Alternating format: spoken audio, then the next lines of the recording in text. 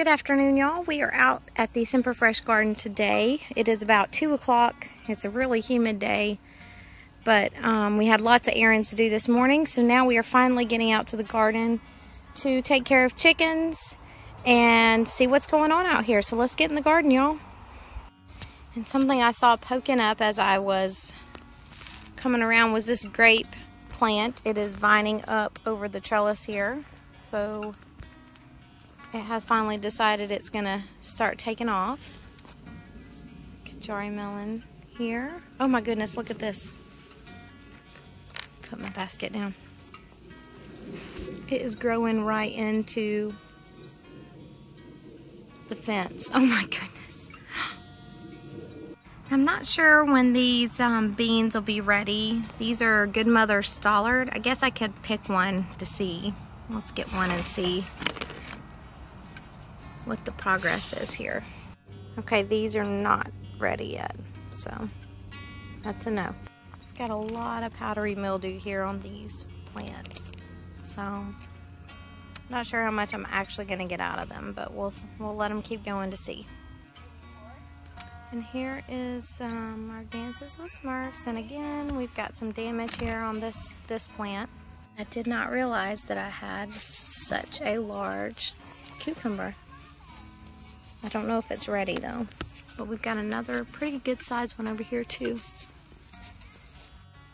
So I'm also seeing some powdery mildew here on this golden zucchini. Excuse me, I've got the hiccups.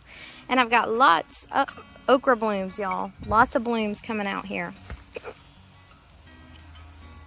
And I have some okra to harvest, so it looks like we're going to be eating okra for dinner. But there's lots of blooms coming out over here, too.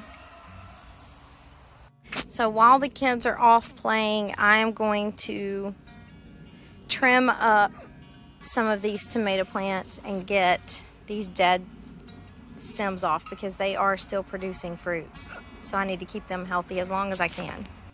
Y'all, I finally have a Roma tomato that is usable. Finally, after weeks of chunking them into the compost because of end blossom rot and pest damage. Finally got my first one. And you can see I'm getting some powdery mildew now on these um, squash plants and some of them are dying from the squash bug infestation. Um, just wasn't able to get them all in this area and as you can see there's some up on top here. So did not get to save this area here I guess. There's several down there I can see them. Ugh.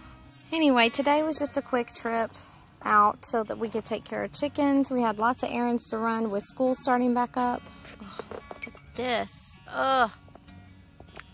Squash bugs. Nasty. Nasty.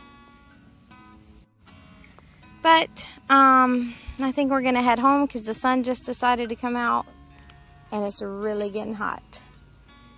So y'all enjoy your evening. If um, I don't come back out tonight, I hope y'all have a great day. Bye y'all.